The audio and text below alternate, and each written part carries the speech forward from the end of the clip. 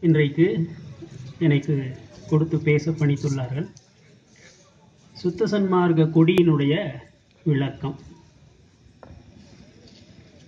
சுமார் ஐயாயிரம் ஆண்டுகளாக மறைக்கப்பட்ட பூட்டப்பட்ட பரிபாஷையிலும் கதைகளிலும் மட்டுமே பேசப்பட்ட ஒரு பரம ரகசியம் சிவ ரகசியம் பிரம்ம ரகசியம் அவற்றை கடந்த ரகசியம். அந்த ரகசியத்தை ஐயாயிரம் ஆண்டுகளுக்கு பிறகு ஒருவர் வந்து அந்த பூட்டை திறக்கிறார். இதே இடத்துல ஆயிரத்தி எட்நூத்தி எழுபத்தி மூணாம் ஆண்டு நவம்பர் திங்கள் இருபத்தி ரெண்டாம் நாள் கொடியை ஏற்றி வைத்து சன்மார்க்க கொடியை ஏற்றி வைத்து வள்ளல் பெருமான் பேருபதேசம் செய்கின்றார். அந்த பேருபதேசத்திலே தான் இந்த பூட்டை திறக்கிறார். அந்த பேருபதேசத்திலே முக்கியமான வரிகள் நிறைய உண்டு. அதற்கு விளக்கங்கள் சொல்ல வேண்டும். ஒரு வரிய இப்பொழுது சொல்லுகின்றேன். கடவுளின் உண்மையை ஆதியிலே ஒருவன் பூட்டி வைத்தான். அவன் ஒரு வல்லவன்.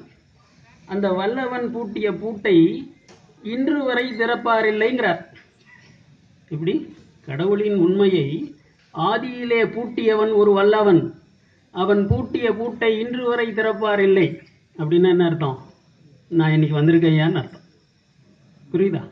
ஆக நூற்றி ஐம்பது ஆண்டுகளுக்கு முன்பு வள்ளல் பெருமான் தான் அந்த பூட்டை திறக்கிறார். அதற்கு முன்னால் திறக்கவில்லை. அதனால் தான் அது பேருபதேசம். பேருபதேசம் என்று உலகத்திலே வரலாற்றிலே புத்தர் காசியிலே மான் பார்க் என்று சொல்லுகின்ற இடத்திலே செய்த உபதேசத்தை உலகம் முழுவதும் பாராட்டுகின்றது. அடுத்ததாக இயேசுபிரான் மலை மீது இருந்து செய்த மலை பிரசங்கத்தை உலகம் முழுவதும் பாராட்டுகின்றது. ஆனால் இது விஞ்ஞான யுகம். இந்த கதைகளை எல்லாம் சொல்லி மற்ற மக்களை திருப்தி செய்ய முடியாது. விஞ்ஞான யுகம். எதிர்காலத்திலே வள்ளல் பெருமானுடைய பேருபதேசம் இவர்களுடைய பேருபதேசங்களைப் போல் உலகமெங்கும் பேசப்படும். இது சத்தியம். இது சத்தியம். என்ன வள்ளல் பெருமான் அதை எப்படி பேருபதேசத்தை முடிக்கிறார் தெரியுங்களா? படித்து பாருங்க பத்து ரூபாய்க்கு கொடுக்குறாங்க. ஒருவருடைய தந்தை தாய் அண்ணன் தம்பி தங்கை போன்ற ஆப்தர்கள் எவ்வளவு உதவி செய்ய முடியுமோ அதை போல கோடி கோடி பங்கு உதவி செய்யக்கூடிய இடம் இந்த இடம் இந்த சுத்த சித்தி வளாகம். இப்படி முடிக்கிறார் சாமி. சொல்லிட்டு என்ன சொல்றாரு? சத்தியம் சத்தியம் சத்தியம்ங்கிறார். இதெல்லாம் தேவையா? யாரு நம்ம நம் நம்ம திருந்த மாட்டோம்னு தெரியும். இதெல்லாம் நம்ப மாட்டோம்னு தெரியும். ஆனா இருந்தாலும் அவருடைய கருணை வள்ளல் அப்படி வந்து சொல்றாரு. சரி என்ன அந்த ரகசியம்? பின்னால இருந்து வர்றேங்க. ஐயாயிரம் ஆண்டுக்கு முன்னால போகணும். யார் யார் மறைச்சாங்கன்னு அப்பதான் நீங்க தெரிஞ்சுக்கிறீங்க. எட்டாம் நூற்றாண்டுல ஆதிசங்கரர் வருகிறார். அவர் வேதாந்தி. வேதாந்தத்தினுடைய மூன்று முக்கியமான நூல்கள் என்ன? வியாசர் எழுதிய பிரம்மசூத்திரம் பகவத்கீதை நூற்றி எட்டு உபனிஷதங்கள். இந்த பிரம்மசூத்திரம் தான் பிரம்மம் என்கின்ற கடவுள் நிலையை மிக சுருக்கமாக ஆனால் முழுமையாக எழுதிய ஒரு நூல். அதற்கு மூவரும் எழுதியிருக்காங்க. ராமானுஜர் மத்துவர் சங்கர் எல்லாருமே அதுக்கு உரை எழுதியிருக்காங்க. நம்ம திருக்குறள் மாதிரி. ஆதிசங்கரர் இதற்கு உரை எழுத ஆரம்பித்த உடனே அவருடைய குருவிடம் போய் சொன்னாராம் ஐயா நான் பிரம்மசூத்திரத்துக்கு உரை எழுத ஆசைப்படுகின்றேன். மிக்க மகிழ்ச்சி மகனே. ஆனால் அதற்கு முன்னால் நீ அதை புரிந்து கொள்ள வேண்டும். அதை புரிந்து கொள்ள வேண்டும் என்றால் நீ ஒரு நூலை படிக்க வேண்டும். சாமி அது என்ன நூலுங்க அது கந்த புராணம். சம்ஸ்கிருதத்திலே ஸ்காந்த புராணம் என்று சொல்வார்கள். ரெண்டு லட்சம் ஸ்லோகம். எவ்வளோங்க? ரெண்டு லட்சம் பாடல்கள். பதினெட்டு புராணங்களிலேயே அதிகமான நீளமான புராணம் அதுதான். பதினெட்டு புராணங்களும் சேர்ந்து நாலு லட்சம். அதுல ரெண்டு லட்சம் இந்த கந்த புராணம் மட்டுமே.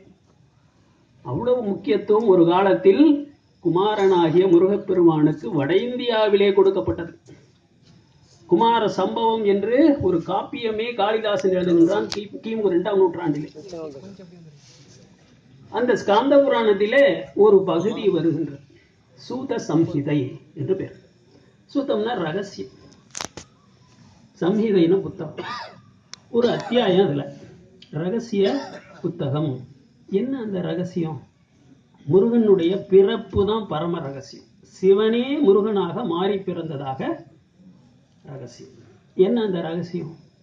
அதே ஆதிசங்கரர் படிக்கிறார் ஸ்காந்த புராணத்தில் ஒரு தடவை அல்ல புரியல அவருக்கு. பதினெட்டு முறை படிக்கிறார். நான் சொல்லல தப்பா போயிடும். சங்கர விஜயம் நூல் சொல்லுது. பதினெட்டு முறை படிக்கின்றார். படித்த பிறகு அவருக்கு புரிகின்றது. அதற்கு பிறகு பிரம்மசூத்திரத்திற்கு உரை எழுதுகின்றார். ஏன் அப்படி எழுதுறாரு? அப்படி எழுதி அந்த பிரம்மசூத்திரத்திலே விளக்கத்தை கொடுத்தாரா? அவர் புரிந்து கொண்டார். மற்றவர்களுக்கும் சொன்னார் ஆனால் எப்படி சொன்னார்? வேதாந்த பரிபாஷையில் சொன்னார். நீங்க இன்னைக்கும் படிச்சு பாருங்க. வள்ளல் பெருமான் சொல்லுகின்ற விளக்கம் அதிலே இல்லை.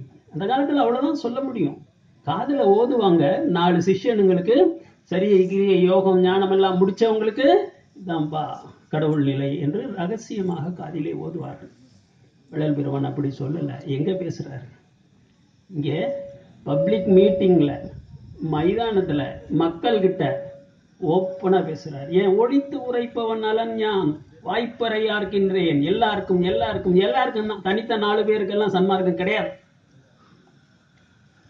பொது உணர்வு உணரும் போது அலால் பிரித்தே அது எனில் தோன்றா அருட்பெருஞ்சோதி மத்த சாமியெல்லாம் நேரா தவம் பண்ணி நீங்க அப்படியே போயிடலாம். அருட்பெருஞ்சோதி இருந்த வேலை நடக்காது. எத்தனை உயிர்களுக்கு நீ உதவி செய்திருக்கின்றாய்? ஜீவகாருண்யம் செய்திருக்கிறாய்? உன் கணக்கை சொல். அந்த அளவுக்கு தான் கிட்ட வருவார் அருட்பெருஞ்சோதி ஆண்டவர். அதான் சொல்றாரு. பொது உணர்வு உணரும் போது அலால் பிரித்தே அது அது என்ன பிரம்மம் வேதாந்தத்துல சொல்ற பிரம்மம் தத்துவம் அசி நீ அதுவாக இருக்கிறாய். அது என்ன பிரம்மம் தனியா எதாவது பண்ணி பிரம்மத்தை அடைஞ்சிடலாம். அருட்பெருஞ்சோதி அடைய முடியாது. அதனால வெளிப்படையாக வள்ளல் பெருமான் பேசுகின்றார். இன்னொரு இடத்துல அகவல்ல சொல்றார் நேரம் இல்லை இல்லைன்னா விளக்க சொல்ல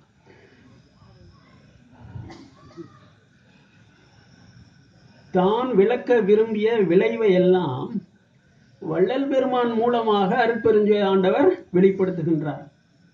வெளிப்படுத்த விரும்பிய விளைவை எல்லாம் எனக்கு அழித்தளித்து இன்புடுசை இன்புசை அன்புடைத்தாயேங்கிறார். எல்லாத்தையும் ஆண்டவன் என்ன சொல்றாரு? வாய்க்காலில் நதியிலிருந்து வாய்க்கால் மூலியா தண்ணி நம்ம தோட்டங்களுக்கு வர்ற மாதிரி வள்ளல் பெருமான் மூலமாக எல்லா செய்திகளும் அனுப்புகின்றார்.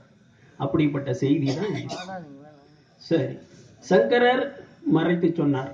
சரி. அதுக்கு முன்னால ஏன் இந்த மாதிரி மறைச்சாங்க? இதுல என்ன அப்படி ரகசியம் இருக்குது என்று பார்த்தால் ஸ்காந்த புராணத்திற்கு முன்னாலே இதனுடைய ரகசியத்தை யார் சொன்னார்கள்? அதுக்கு முன்னால ஐயாயிரம் வருஷத்துக்கு முன்னால தமிழ் இலக்கணத்தை முதல் முதலில் எழுதிய தொல்காப்பியன் இதை சொல்றான். முருகப்பெருமானுடைய பிறப்பு. ஏன்னா தமிழர்களுடைய ஆதி கடவுள் முருகன் தான் முருகன் தான் சிவன் சிவன் தான் முருகன் அது வேற. எப்படி ஆரம்பிக்கிறான்? எல்லாத்துக்கும் இலக்கணம் சொல்றான். எழுத்து சொல் பொருள் எல்லாவற்றுக்கும் இலக்கணம் சொன்ன தொல்காப்பியன் கடவுளுக்கும் இலக்கணம் சொல்றான். ஐயா நீங்க ஒரு கடவுள் வாழ்த்து எழுதணும் அப்படின்னா அதுல மூணு விஷயம் இருக்கணும். என்ன சொல்றாரு? கொடினே ஆரம்பிக்கிறார். இன்னைக்கு தலைப்பே அதான். கொடிநிலை கந்தழி வள்ளி என வடுநீங்கிய சிறப்பின மூன்றும் கடவுள் வாழ்த்தோடு கண்ணிய வருமே. இந்த மூணும் இருக்குதா? அப்பதான் அது கடவுள் வாழ்த்து. என்ன அது? கொடிநிலை என்றால் என்ன? கந்தழி என்றால் என்ன? வள்ளி என்றால் என்ன? இந்த மூன்றுக்கும் விளக்கம் இருக்கின்றதா? அந்த மூன்று குணங்களையும் கொண்ட கடவுள் இருக்கிறாரா? இருந்தால் அவர் கடவுள் இல்லைன்னா சிறுதெய்வம் இது அன்றைக்கே தொல்காப்பியன் சொன்னான். புலவர்களுக்கு புரியவில்லை. இவர்கள் என்ன செய்தார்கள்? ராஜாக்கள் எல்லாம் அந்த காலத்தில் ஆளுக்கு ஒரு கொடி வச்சிருப்பாங்க. எத்தனையோ விதமான கொடிகள். அது போருக்கு புறப்படுகின்ற பொழுது அந்த கொடியை எடுத்துக்கிட்டு போவாங்க. இல்லை கொடிமரமாக அரசவையிலே இருக்கும். ஆகவே இது அரசர்களுடைய கொடியை பற்றி சொல்லுகின்றது. இப்படி கூட யாராவது எழுதுவாங்களா? கடவுள் வாழ்த்துக்கும் அரசனுக்கு என்னையா சம்பந்தம்? இப்படியெல்லாம் இலக்கணவாதிகள் வித்வான்கள் தமிழை சிறுமைப்படுத்தினார்கள். அது போகட்டும். இங்கே கொடி நிலைன்னு சொல்கிறார் பெருமான். நல்லா கவனிங்க. தொல்காப்பியத்துக்கு விளக்கம் வள்ளல் பெருமான் தான் சொல்கிறார் அதுக்கு முன்னால் யாருமே சொல்லலை. இப்போ கொடிநிலை என்பதுதான் சுத்த சன்மார்க்க கொடி. எப்படி? நம்முடைய உடலிலே தாய்மார்களுடைய உடலிலே இரண்டு கொடிகள் உண்டு. ஆண்களினுடைய உடலிலே ஒரு கொடி உண்டு. இது வள்ளல் பெருமான் சொல்கிறார் எப்படி? தாய்மார்களுடைய கொடியிலே நம்மெல்லாம் பிறந்தது அப்படித்தான். தொப்புழிலிருந்து கீழே இறங்குகின்ற தொப்புள் கொடி இருக்குது பார்த்தீங்களா அந்த கொடியின் வழியாக ஒரு குழந்தை பிறந்தால் அது மனித குழந்தை. தாய்மார்களுக்கு நாம் கடமைப்பட்டிருக்கிறோம். ஆனால் ஆண்களுக்கும் பெண்களுக்கும் அனைவருக்குமே இன்னொரு கொடி உண்டு. அந்த கொடி தான் சன்மார்க்க கொடி. பெருமான் பேருபதேசத்திலே சொல்றார் பத்து ரூபாய் கிடைக்குது படிச்சு பார்க்கலாம். நாபியிலிருந்து புருவ மத்திய ஈராக ஒரு நாடி ஏறுகின்றது. அதான் கொடி. அந்த நாடிக்கு அந்த நாடியின் இறுதியிலே ஒரு ஜவ்வு தொங்குகின்றது. அதுதான் கொடி. அந்த ஜவ்வினுடைய கீழ்ப்புறம் வெண்மை மேல்புறம் மஞ்சள். அதன் அடியிலே ஒரு நரம்பு ஏறவும் இறங்கவும் இருக்கின்றது. இது அக அனுபவத்தின் கண் விளங்கும். புறத்தில் இல்லை. அதான் பெருமான் என்ன சொல்றாரு? பிண்ட லட்சணத்தை உடம்பில் நடக்கின்ற செயலை அண்டத்தில் புறத்தில் உலகத்தில் நடப்பதாக காட்டினார்கள். அதுவும் தெய்வங்களின் கற்பனை கதைகளாக காட்டினார்கள். அதனாலதான் புராணத்தை படிக்காதங்கிறார். உனக்கு புரியாது அது. இதெல்லாம் பரிபாஷை. பிண்ட லட்சணத்தை அண்டத்தில் காட்டினார்கள். உடலில் ஏற்படுகின்ற ஒரு செயலை எவ்வாறு காட்டினார்கள்? நேரடியாக சொல்றது இல்ல இப்ப பெருமான் சொன்ன மாதிரி ஐயா உன்னுடைய தொப்புள் இருந்து உன்னுடைய புருவ மத்திய வரைக்கும் ஒரு நாடி ஓடுது. அந்த நாடியினுடைய உச்சியில ஒரு ஜவ்வு தொங்குது. அந்த ஜவ்வு ரெண்டு நிறம். கீழே வெண்மை மேல மஞ்சள். அதுக்கு உள்ளார என்ன இருக்கு? ஒரு நரம்பு மேறவும் ஏறவும் இறங்கவும் இருக்கின்றது. இந்த அனு இது அக அனுபவத்தின் கண் தெரியும் தியானத்தில் தெரியும். இதுக்கு விளக்கம் சொல்லணும். வள்ளலாரனுடைய காலத்திலேயே வடநாட்டில் ஒரு பெரிய ஞானி இருந்தார். ரொம்ப நல்லவர் தங்கமானவர். வேதங்கள் பிராமணர்களுக்கு மட்டும் சொந்தமல்ல எல்லா இந்துக்களுக்கும் சொந்தம். அது எந்த ஜாதியை சேர்ந்தவராக இருந்தாலும் வாருங்கள் உங்கள் குழந்தைகளை அனுப்புங்கள். நான் வேதத்தை உங்களுக்கு கற்றுத்தருகிறேன்னு முன் வந்தார் ஒரு சீர்திருத்தவாதி. ஆனால் அந்த மகானுக்கு வேதம் படிக்கிற அறிவு பெரிய வித்வான். ஆனால் யோக அனுபவம் இல்லை. குறையா சொல்ல ஏதாவது ஒன்று இருக்கணும். சர்வமும் அறிந்த ஞானி வள்ளலாரை தவிர உலகத்தில் யாரும் இல்லை எனக்கு தெரியும் அவருக்கு யோக அனுபவம் இல்லை. அவர் என்ன செய்தார் தெரியுங்களா? ஒரு சீடனை அனுப்பி என்னப்பா இவங்க என்னவோ ஏழு சக்கரம் இருக்குது. மூலாதாரம் சுவாதிஷ்டானம் மணிபூரம் அனாகதம் விசுத்தி ஆக்னி சகசிராரம் என்னென்னவோ சொல்கிறானே இதப்படா இந்த கங்கையில் படுறா எப்பவும் ஏதாவது பணம் மறந்து மறந்துக்கிட்டே ஏன்னா செத்தா மோச்சம்னு சொல்லியிருக்காங்க. தினம் நூறு பணம் முதக்கும் தற்கொலை செய்துக்காங்க. ஒரு பிணத்தை எடுத்துகிட்டு வர சொல்றாரு ஒரு சிஷ்யன்னு விட்டு. அவன் ஒரு பிணத்தை எடுத்துட்டு வர்றான். அதை அருங்கிறார். அறுக்கிறான். முதுகெலும்பு தெரியுது. இதுக்குள்ளார தான் இருக்குங்கிறான் வெட்டுறாங்கிறாரு உடைக்கடாங்க உடைங்கடாங்கிறாரு. வெட்டி உடைக்கிறாங்க ஒன்றும் தெரியலங்க நரம்பு தான் இருக்கு. எங்கடா சக்கரம் சுத்துது? முட்டா பசங்கள? எங்கடா சக்கரம் சுத்துது? எல்லாம் பொய்யே பேசிட்டு இருக்கிறானுங்க இந்த யோகிங்க. இப்படி எழுதுறார். ஐயா என்ன சொல்றாரு? இது புறத்தில் தெரியாது அக அனுபவத்தின் கண் தெரியும். என்ன? வள்ளல் பெருமான்?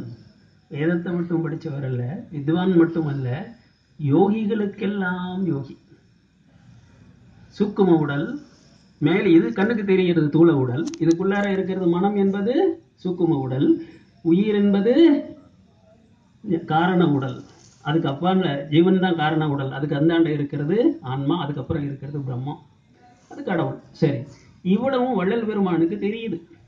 அதனால வள்ளல் பெருமான் சொல்றாரு உங்க நாபியிலிருந்து மேல ஒரு கொடி ஒரு நாடி போகுது அதை உணர்ந்து கொள்ள வேண்டும். அதை உணருகின்றவன் தான் பிரணவ தேகத்தை அடைய முடியும். நல்லா தெரிஞ்சுக்கோங்க. சுத்த பிரணவ ஞான ஒளி தேகம்லாம் சொல்லியிருப்பாங்களா கேள்விப்பட்டிருக்கீங்களா? அதுல பிரணவ தேகம் முருகனுக்கு கொடுக்கப்பட்டது. ஏன் கொடுக்கப்பட்டது? அசுர சக்திகள் இருண்ட சக்திகள் எல்லா இருண்ட சக்திகளையும் ஒரே அடியாக ஒழித்து ஒளியை இந்த இந்த பிரபஞ்சத்திலே நாட்ட வந்தவன் தேவசேனாதிபதியாகிய முருகப்பெருமான். அதனாலதான் அவனை அருணகிரிநாதர் என்ன சொல்வார்? ஜெகஜோதிம்பர் ஜெகஜோதின்னா பிரபஞ்ச ஜோதி. மாணிக்கவாசகசாமி சிவன் என்ன சொல்கிறாரு அருமை பெருமை ஜோதிங்கிறார். வள்ளல் பெருமான் எப்படி மாத்துறாரு பாருங்க. அருள் பெரும் ஜோதி. அருள் என்கின்ற சொல்லுக்கு உலக வரலாற்றிலேயே முதல் முறையாக ஒரு மாற்றத்தை வித்தியாசமான ஒரு அர்த்தத்தை சொன்னவர் வள்ளல் பெருமான் ஒருவரே. இதுக்கு முன்னால் என்ன சொல்லுவாங்க? அருள்னா கடவுளுடைய சக்திப்பா அருட்சக்தி பராசக்தி. அந்த அருளை நாம் வேண்டி விரும்பி பிரார்த்திக்கலாமே ஒழிய நாம் அந்த சக்தியை அடைய முடியாது. இவ்வளோதான் சமயங்கள் மதங்கள் கதவு மூடியாச்சு. இறைவனுக்கு தான் அருள் சக்தி. அது இன்னும் இங்கிலீஷில் அழகாக சொல்லுவாங்க grace. God's grace Vallal Peruman என்ன சொல்றாரு தெரியுங்களா? ஆமாம் கடவுளுடைய அருட்சக்திக்கு பேர் கிரேஸ் தான். கடவுள் தான் அருட்சக்தியை கொண்டவர். ஆனால் மனிதனும் அந்த சக்தியை அடையலாம். கதவை திறக்கிற? வேற யாரும் திறக்கல. எப்படி? ஜீவகாருண்யம் என்பது மனித தயவு அருள் என்பது கடவுள் தயவு. அதனாலதான் உங்களை திரும்ப திரும்ப படிக்க சொல்றேன். இந்த உலகத்திலேயே நான் சத்தியம் சத்தியம் செய்து சொல்லுகின்றேன். ஜீவகாருண்யத்துக்கு இணையான ஒரு வேத நூல் இல்லை. யார் படிக்கிறா? அவ்வளவு விஷயங்கள் அதுல கொட்டி கிடக்குது. அவ்வளவு ரகசியங்கள் கொட்டி கிடக்குது. மனிதனுடைய ஜீவகாருண்யம் என்கிற தயவு கனிந்து எந்த பேதமும் இல்லாமல் எல்லா உயிர்களையும் அது பாம்பா இருந்தாலும் பள்ளி